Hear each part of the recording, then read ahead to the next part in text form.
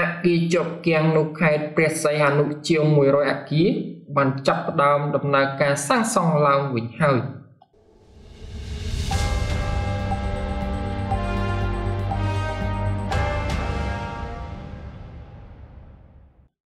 អគារជាប់គាំងនៅខេត្តព្រះសីហនុចាប់តាំងពីឆ្នាំ2019នោះ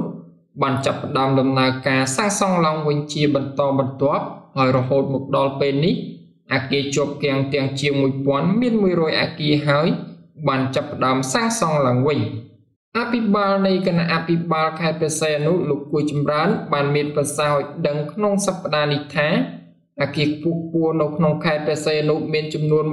1600អគារក្នុងនោះមាន400អគារបានបញ្ចប់ និងមានប្រតិបត្តិការ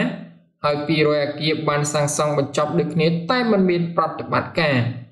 ដោយឡែក200អគារទៀតបានផ្អាកដំណើរការប៉ុន្តែក្នុងចំណោម200អគារដែលផ្អាកដំណើរការនោះ មានជាង100អគារហើយបានចាប់ផ្ដើមដំណើរការឡើងវិញលោកគួយចម្រើនបានបន្តថាដើម្បីជំរុញឲ្យអគារជាប់គាំងទាំងនោះមានប្រតិបត្តិការនិងដំណើរការសាងសង់រាជរដ្ឋាភិបាលបានបង្កើតក្រុមការងារមួយស្រាវជ្រាវនិងសិក្សាអំពីគម្រោងជាប់គាំងទាំងនោះ ហើយក៏បានស្នើទៅសម្ដេចតេជោដល់នៅអនុគ្រោះកិច្ចមួយចំនួនដើម្បីគ្រប់គ្រងនៅបណ្ដាសំណង់ជាប់គាំងទាំងនោះដើម្បីឲ្យពួកគេមានលទ្ធភាពបន្តការវិនិយោគលើអគារទាំងនោះលោកបន្តថាគោលនយោបាយនៃការអនុគ្រោះទាំងអស់ភាគច្រើននៅលើផ្នែកពន្ធនិងផ្ដល់ជូនទៅតាមផ្នែកនីមួយៗដោយផ្នែកខ្លះមាន5ឆ្នាំផ្នែកខ្លះទៀតមានជាង10ឆ្នាំ លោកបន្តថាផ្នែកផ្សេងទៀតនៃគោលនយោបាយរបស់រដ្ឋាភិបាលនោះគឺការសម្របសម្រួលនិងគ្រប់គ្រងផ្នែកច្បាប់ហើយរដ្ឋាភិបាលក៏បានលើកទឹកចិត្តឲ្យមានការសម្របសម្រួលក្រៅប្រព័ន្ធតុលាការដោយរដ្ឋាភិបាលបានផ្ដល់ជាមេធាវីនិងអ្នកប្រឹក្សាយោបល់ធ្វើយ៉ាងណាឲ្យវិនិយោគិនលើអគារទាំងនោះចូលមកបញ្ចប់អគាររបស់ខ្លួន ដែលបានជាប់គាំងទាំងនោះ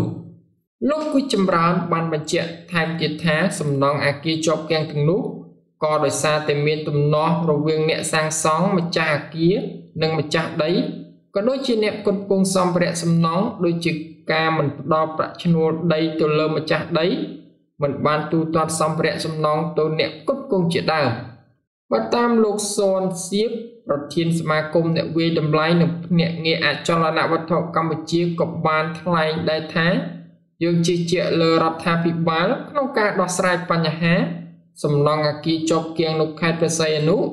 ហើយមិនយូរមិនឆាប់ទេវិនិយោគិនជាបន្តបន្ទាប់នឹងចូលមកការវិនិយោគឡើងវិញ